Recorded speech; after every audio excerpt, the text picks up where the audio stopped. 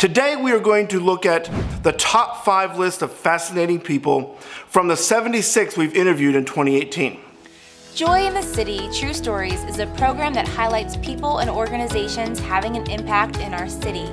All too often, we hear about the problems and the dysfunction in our culture. But we're coming from a different approach as we look at the good things that are going on right here in our community. I'm Bethany Marshall, and you're about to see what God is doing in our city.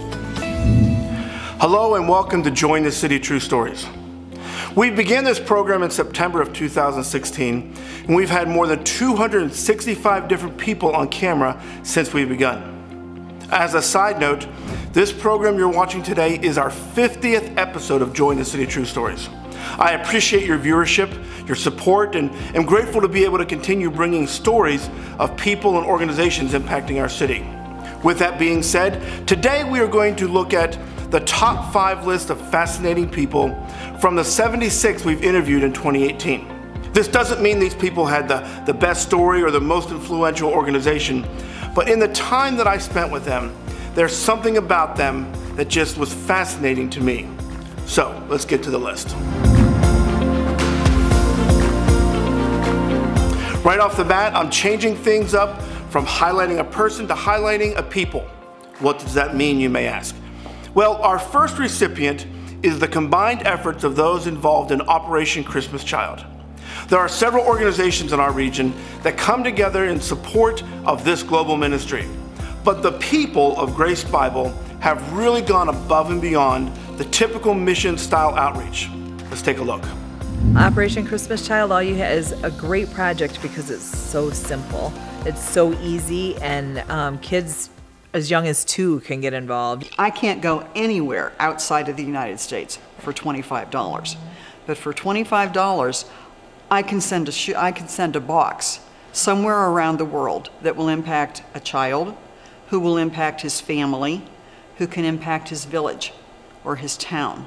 So they estimate that, that the impact of a shoebox is anywhere from what, five to seven Five to, they've increased it to nine now. Okay, five- So one shoebox can impact five to nine people with the gospel. One of the things that you'll read on the brochure is to put in a wow item, which we usually think of as being a stuffed animal or a toy or something along that line. The stories of, of things that, that to the child are the wow item blow my mind. Something as simple as a washcloth, because the kiddo receiving it is in an orphanage and everybody in the building shares the same washcloth. We can't imagine that because here each person in the family has their own. These shoeboxes aren't just being handed out like candy, so to speak, like, hey, Merry Christmas, God loves you. They are very much a tool and a key to get the gospel into the hands of people in these countries where they're going. The concept we had of this program is just a fraction of what it truly is. Many work all year round to pull this together. This year alone, people from Blair and Cambria County packed and sent out 30,190 boxes. Even though Shannon and Renee wanted the narrative of this story to be about what God is doing through this ministry effort around the world, we were so impressed with the commitment those from Grace Bible Church and others have shown, and we wanted to give a glimpse of the behind the scenes process. You never change. You are the God you say you are when I'm afraid. You come and still my beating heart. You stay the same. Just a distant thought, you take my pain. And you lead me to the cross. What love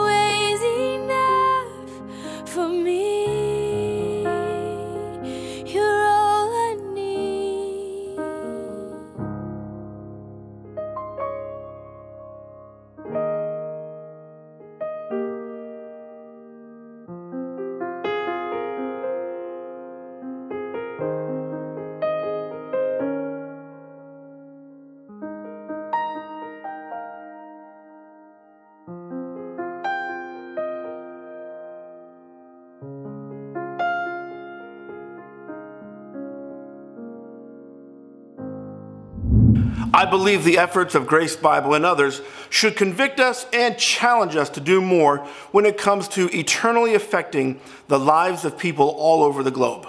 Thank you for all you do. The next recipient on our list is Jamie Holden. I would venture to guess that 95% of the people in our community don't know Jamie. First of all, he's not local, but he impacts men that are local. So I wanted to highlight Jamie because he is truly fascinating. You see, Jamie is a man who created and manages a touring conference called Mantor. This is an organization that travels all over the region bringing men together to encourage and challenge them to be better men. The reason that he is fascinating is because when most people have some sort of physical challenge or disability, they allow that to define them and thus live life under the shadow of that disability. I totally understand that and I'm not speaking against those who do. But with Jamie, his condition is a neurological disease named Charcot-Marie Tooth, also known as CMT. It's a degenerative nerve disease and it weakens bones and muscles and causes limb deformation. But that hasn't limited him one bit in accomplishing big dreams for men and the kingdom of God. Take a look at a portion of this true story we did on Mantor. Mentor conferences, we started them about five years ago, and what it is, is our goal is to bring men together from the same general area to bring together to learn you know, how to be better husbands, better fathers, to be leaders in their churches, in their community, and just to teach them basically how to grow in their walk with God. Uh, we want to be a day where they come together and they can just celebrate with other men. And one of the biggest things I find ministering to men is the culture around us tries to convince us that we're alone, that we're only people trying to live for God and culture around us. Nobody else is trying to live according to God's word and God's standards. And when we come to the Mantor, you see hundreds of guys, you're not alone. There's other men trying to live the same way that you're trying to live for God and develop the same walk with God and the same relationship. And it's just a way to really encourage men, to strengthen men's ministry, and then in turn to go back home to your church and have a growing, thriving men's ministry in your local church. The Holy Spirit laid out this vision on my mind to start these regional men's conferences. And um, at first I thought, you know, I can't go and present this to the district. I mean, it's kind of like saying to somebody, you know, you're not doing what you're supposed to do. And I got real scared and I said, no, I'm just not going to do it. It's not God. And um, I was listening to, they had General Council in Florida a number of years ago, and Pastor Choco was speaking, and he said, you know, if God's given you a burden in your heart and you're not doing it, you know, you have no business being in ministry if you're not going to obey God. And it was just like somebody stuck a knife in my heart. Hearing that, I was like, all right, I'll make the call, I'll start the conversation. And it was just so warmly received. And um, district gave me their support and their help. And we thought, we're going to start this, we're going to see what we can do to help men. And originally, I presented it to my sister who ministers with me. Um, she, I said to her, you know, let's, we want to do this. And she says, well, you know, we're footing the bill for this. If this doesn't work, you know, we can only do two or three conferences to see if it's going to work and just to try it out. And I agreed to that. In the first year, we ended up doing four conferences. Second year, we did seven. Last year, we did nine. We're up to 11 conferences this year. They just keep growing. And we found that while everybody's saying men aren't really hungry for men's ministry, we found the exact opposite. Men are hungry. They want to come. They want to be taught. There's just a desire for more of God, and it's just, it's blown up way more than I ever imagined that it could. Honestly, not to sound like braggy, but it's just a lot of hard work on my end, just reaching out. I make um, we have one first mentors coming up. I made calls to every church in the area, inviting them personally to come and be a part of it. Um, the first year we did mentors, I called every church in the area we were at, just to invite them, to let them know about it, and just to reach out and say, you know, we'd love to have you and your men come. So I'm not afraid of hard work. I'll do whatever it takes to reach men because it's just my burning passion. But basically, it's just through word of mouth, through social media, through videos, and churches promoting it, and it's just kind of a grassroots thing. It just exploded. So God's really moving among men. It just excites me every year to see how much God is moving, to see the men come to the altar and just spend time at the altar with God, just dealing with issues and believing the mentors as a new man. It's exciting to see what God's doing. One of the most fascinating things about Jamie is when you see him, you can see the effects of his condition. But beyond that, you'd have no idea that he had any physical limitations. As a matter of fact, when I researched this, I had to dig deep to even find out what his condition was. He doesn't talk about it in conferences. He doesn't use it as a platform in his marketing. It's not even information I could find on his website. I had to actually contact his sister to get details. And she shared just recently, he opens up about this very difficult time he had growing up in his recent book, Invincible.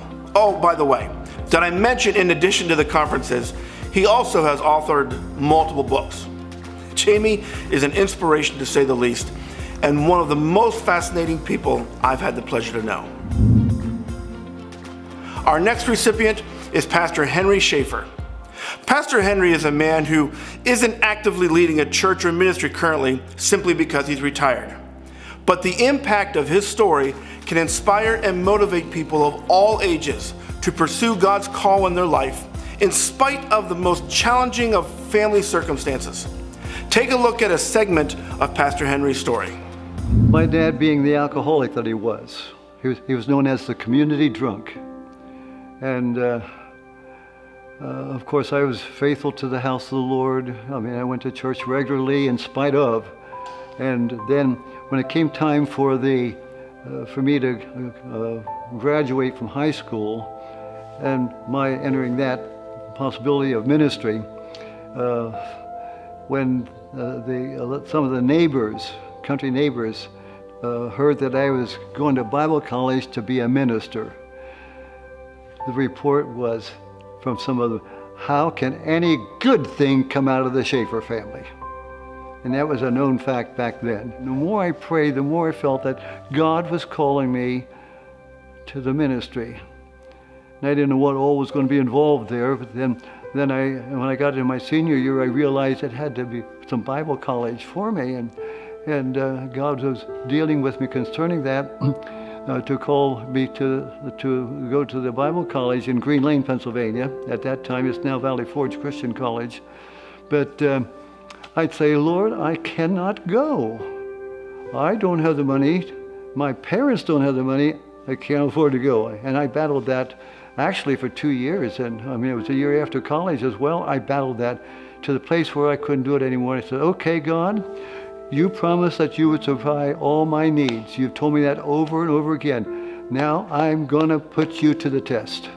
The last year uh, came graduation day. I needed $45 or I would not get my diploma.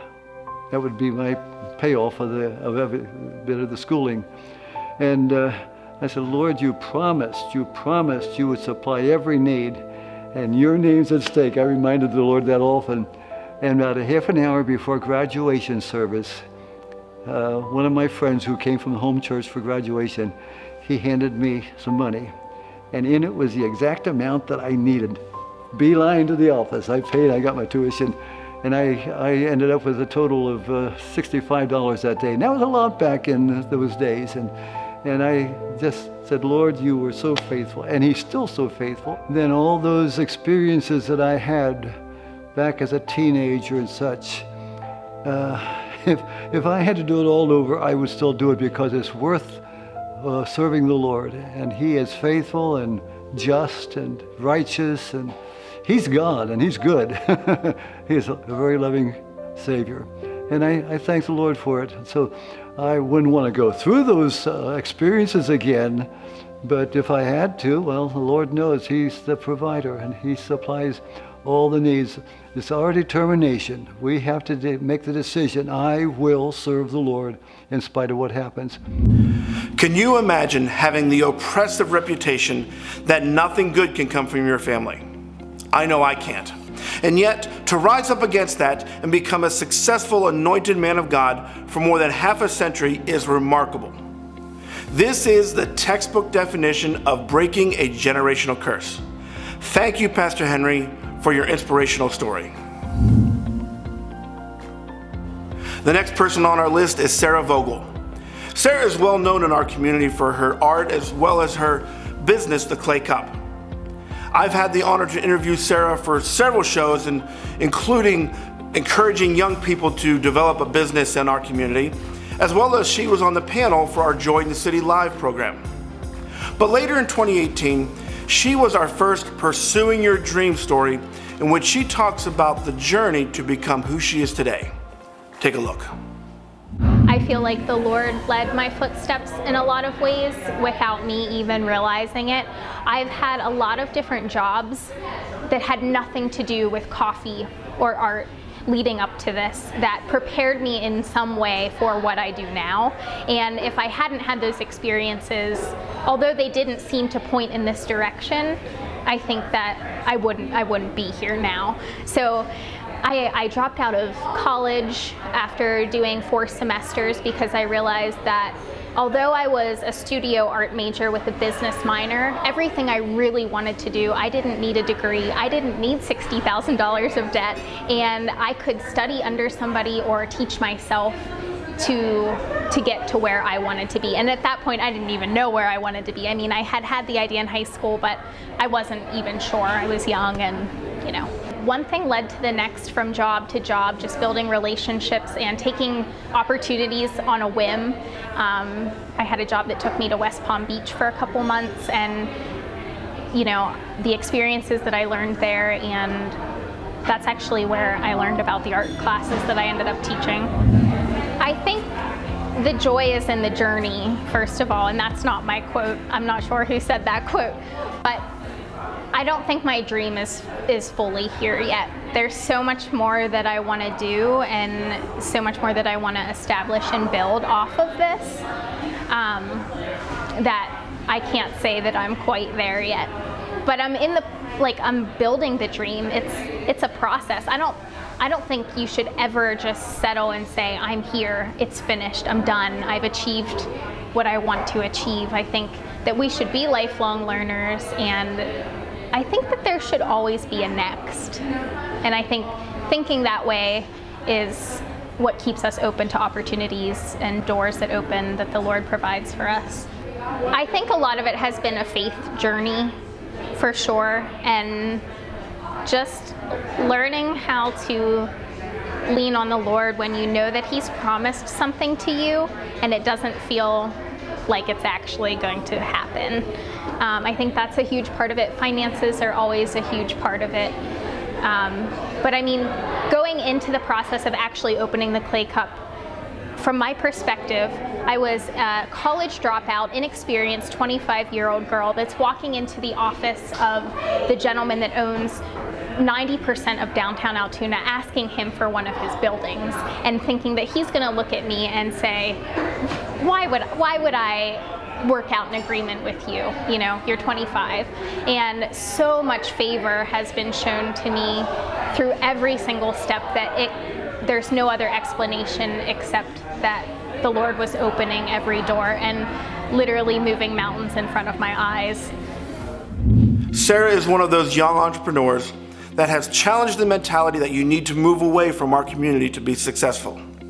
Not only has she developed two different businesses locally, and her creativity and artistry have been printed on pillows all around the country, recently she was selected as one of the few individuals to have her artwork featured with Sheetz marketing strategy to include having her art and likeness printed on trucks traveling the country. Sarah's drive and willpower make her the kind of person I want to be when I grow up. The pro only problem is I'm a few decades older than her. But anyway, thank you, Sarah, for not only what you do, but more importantly, who you are. Before we get to our final recipient, I'd like to give a shout out to a few people who are directly connected to me that I intentionally leave out of this list simply because I don't want to appear biased. But they do deserve an honorable mention, to say the least. The first is my father in law, Rick Becker. His testimonial story tugs at the heart, and to see him today from what he grew up in is simply remarkable. The second honorable mention is my friend, my boss, my mentor, Pastor Jim Balzano. I could take an entire 30 minute show to talk about what he has done and who he is and how it has impacted my life. He is the epitome of a big dreamer. And lastly, my wife. She opened up and shared her story this year, and I must say I get a little emotional every time I watch it. If you haven't seen these stories, I encourage you to take a few moments and dig into the archives on YouTube and check them out. The final recipient of our most fascinating people is Dano Burkhart. Dano is a man who, against all odds, has a powerful story and is truly inspirational. Before I get too far, just take a look at a few moments of his testimony. At that point, I, you know, I lost my legs, and then I had some issues at school, and then having um, this major infection, and, and I'm like, you know, God, what, what is my purpose in all this? You know, show me, show me uh, my purpose in this. And he, he didn't really reveal it to me yet, but he he gave me the the sense of peace with the Holy Spirit that um, everything I was uh, faced with, that the Holy Spirit was going to be there with me and uh, and bring me through it. We all seek Him when uh, when when there's trouble, but for me, this was okay. God, you'd brought me through so much already, you know, uh, from losing my legs to the the infection to my first kidney to my second kidney. That I know uh, that you're going to bring me through this, and I I didn't get angry at God, and I know some people do, and when they are faced with difficult situations, the first thing they do is get angry, and uh, and that's never been my my uh, the way that I handle things. And I've always just tried to I draw closer to God and I and I pray and I ask for comfort from the Holy Spirit that uh, that God you know show me the glory in this situation that I'm in. Because when you're angry and you complain about situations you have no control over. Uh, they don't get you anywhere. Uh, there's there's you're right back to where you started from. And uh, you can get angry you can get angry at God. Uh, you can get angry at, at doctors or, or, situations, but it actually never changes the situation you're in. And my, the second thing that always drives me is my perspective on things. Uh, being that I've gone through so much and God has brought me through so much, um, I, I'm so thankful to, to be in the situation that I'm in. Um, I look around at other people and realize what they've been through and what they struggle with. And I think, wow, you know, my situation is tough, but it really it's not that bad. Yeah. You know, look at look at all the things God has brought me through. God created me for a reason, and I really think my reason is to share my story uh, and everything that I've been through. That God has been through me, brought me through, and you can live a great life and be confident and happy. You know, uh, there are struggles, and you are sometimes going to be sad. And there's days that I'm sad, sure, yeah. but I'm not angry. There's a difference, yeah. you know. I'm sad that I have to go through some things, you know, but I'm not angry at God, and I'm thankful that He's brought me through um, everything He's brought me to.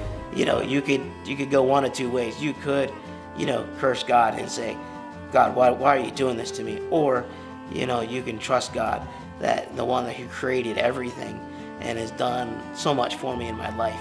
Uh, are you going to trust them and lose faith at this point? Um, definitely not. And uh, and and everything that I've come through, I always say that this just adds another, you know, 10 minutes to my to my testimony. It's another thing that God has brought me through. After watching that, I believe every single excuse we try to use in our job, our ministry, or even life in general is simply invalid. Dano's outlook on life is a beacon of light to everyone around him. You would think when people come in contact with Dano that they would be the ones to lift him up and encourage him. But the fact is, when you come in contact with him, he encourages you. He lifts your spirits. He's a great inspiration, and I'm glad to call him my friend. In my opinion, this makes him fascinating. Thanks, Dano, for sharing your story, and I pray that a kidney donor becomes available in the very near future. Thanks again for watching today. And as always, if you have a testimonial story you'd like to share or know of an organization doing things that impact our community, call me at 944 1948. Or you can simply email me at troy at jointhecity.org. I pray you have a very blessed year ahead. And remember, God is moving in our city.